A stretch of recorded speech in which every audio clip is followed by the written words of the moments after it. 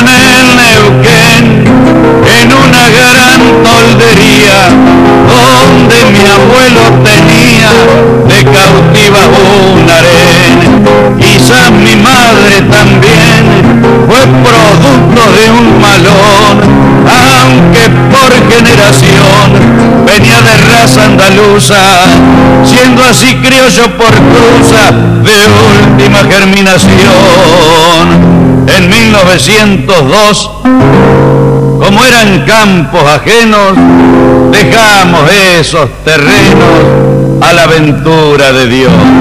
En aquella edad precoz que pocos años tenía, pensé por la suerte mía que empezaría su rodaje, todos levantaron viaje con cuanta riqueza había. Carros, carretas huelladas y hacienda que había bastante. Todo echaron por delante la tropilla y la manada. Yo no quise saber nada y me alejé del montón. Mi abuelo en su condición era una persona rara. Para que nadie quedara, incendió la población. Yo junté unos mancarrones con una yegua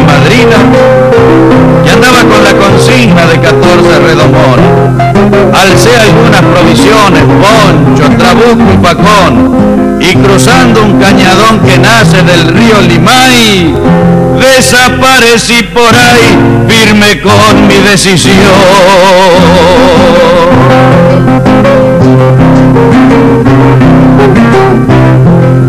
Diez días llevaba de viaje en la pampa solitaria cuando vi la iluminaria de una toldería salvaje.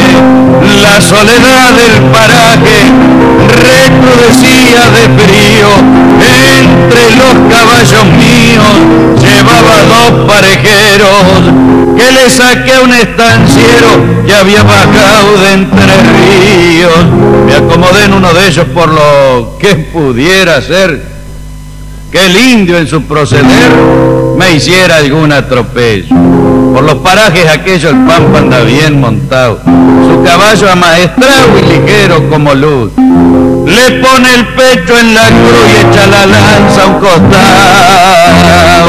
Le esquive a la toldería como por dejarla atrás, pero encontré un lenguara con otro indio en compañía. Le pregunté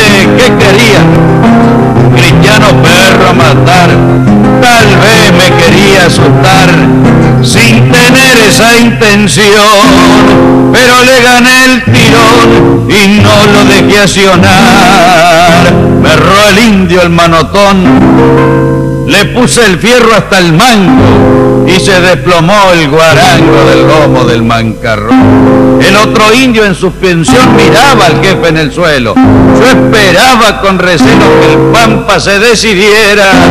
Me gustaba la carrera porque iba a ser pelo a pelo.